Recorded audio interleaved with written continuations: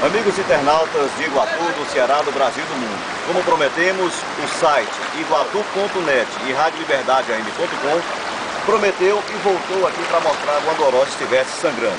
Na sexta-feira, dia 4, nós estivemos aqui justamente para mostrar o antes e o depois. E a cobertura para você que está em qualquer parte do Brasil e do mundo está aqui.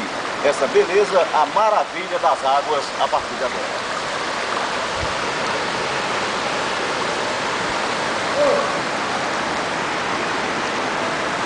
Como vocês observam, os peixes já subindo, tentando subir, descendo, escapando aqui do açude Oroz, Juscelino Kubitschek.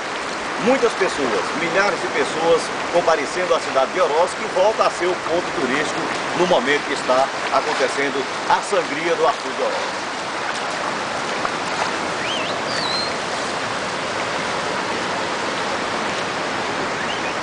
Você que está em qualquer parte do Brasil e do mundo pode observar a beleza, a beleza das águas que estão no açude Oró.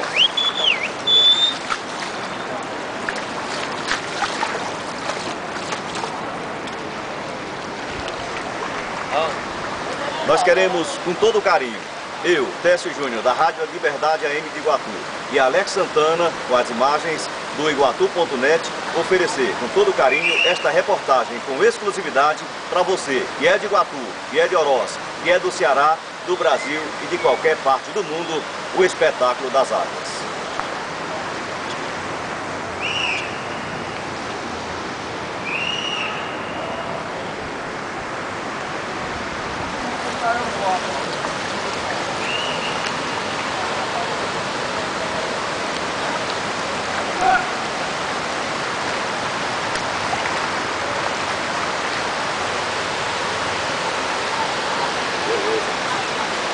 Um abraço a você, de qualquer parte do mundo, com reportagem de Técio Júnior e Alex Santana, com as imagens do Iguatu.net. Fica o nosso carinho e vamos estar sempre com todas as matérias aqui no nosso site radioliberdadeam.com e também no iguatu.net.